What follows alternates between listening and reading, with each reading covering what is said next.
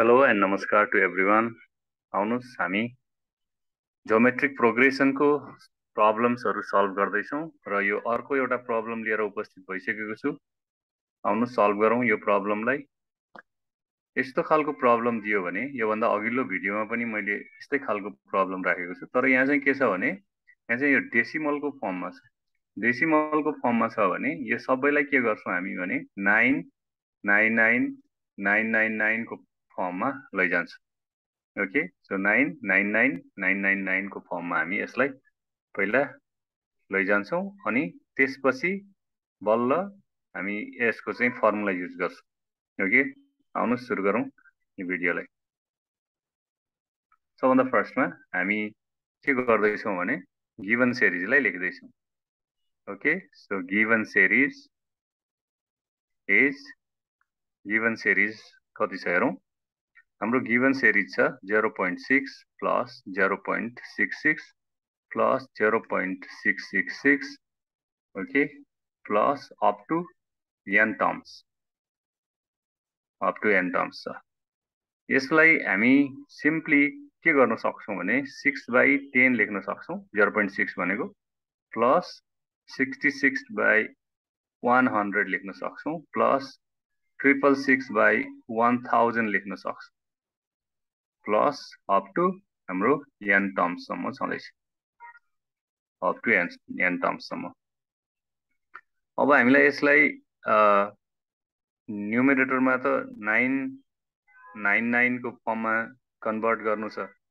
त्यसैले हामी सिक्सलाई कमन लिन्छौँ। पहिला सिक्सलाई कमन लिइदियो भने कति बाँकी हुन्छ? One by ten plus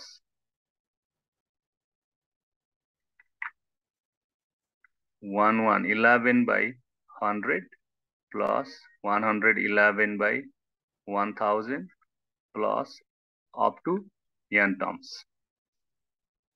सम्म पुग्छ।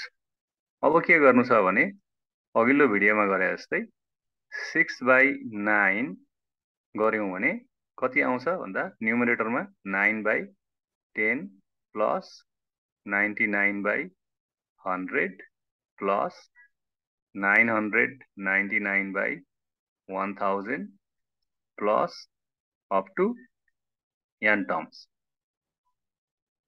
Okay यदि तपाईँले बुझ्नु भएन भने यसलाई म फेरि एक स्टेप यहाँ गरिदिइरहेछु यसलाई इरेज गरेर फेरि एक स्टेप यहाँ गरिदिइरहेछु हेर्नुहोस्। This is equals to six by nine multiplied by nine त गर्न पाउँछौँ, किनकि नाइन नाइन क्यान्सल हो। अहिले ब्राकेटभित्रकोलाई हामी जस्ताको तस्तै राखौँ। Plus 11 by 100 plus 111 by 1000 plus up to n terms. अब त नाइनले मल्टिप्लाई गर्न सक्छौँ हामी।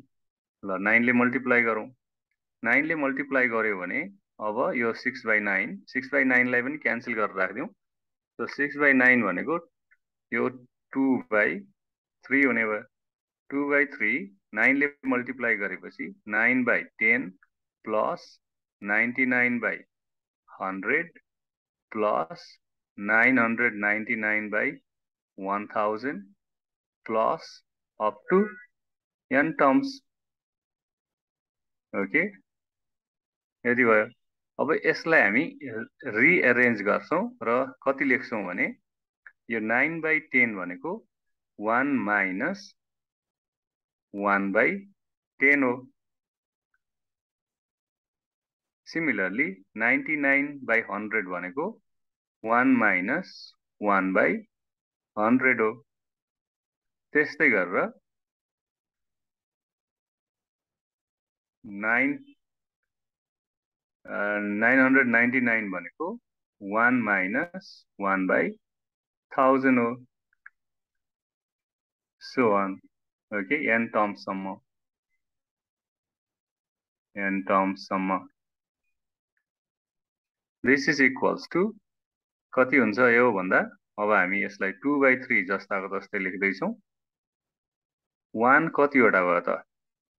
भन्दा वान त हाम्रो एन टर्म्ससम्म छ।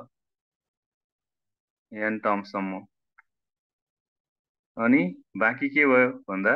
माइनस कमन आयो सबैमा माइनस छ। One by ten plus one by hundred plus one by thousand plus up to n terms n टर्म्ससम्म पुग्यो। दिस इज इक्वल्स टु यसलाई हामीले अब सल्भ गर्दा टु बाई थ्री जस्ताको तस्तै लेख्छौँ। वान कतिवटा छ? एनवटा छ। त्यसैले हामी एन लेख्छौँ। माइनस अब यसको सम निकाल्दाखेरि हामीसँग एउटा फर्मुला छ र फर्मुला के हो भने SN is equals to a times one minus आरको power n divided by one minus r छ। सो यो फर्मुला हामी युज गर्छौँ। यो फर्मुला युज गर्दाखेरि यसको लागि यो फर्मुला युज गर्दा फर्स्ट टर्म हेर्नुहोस् त कति छ? फर्स्ट टर्म छ वान बाई टेन अनि वान माइनस रेसियो कति छ? रेसियो भनेको हरेक वान बाई टेनले मल्टिप्लाई हुँदै गइरहेको हो। त्यसैले वान बाई टेनको पावर एन भयो ओके? अनि डिभाइडेड बाई यसको तल वान माइनस अब आर भनेको कति हो?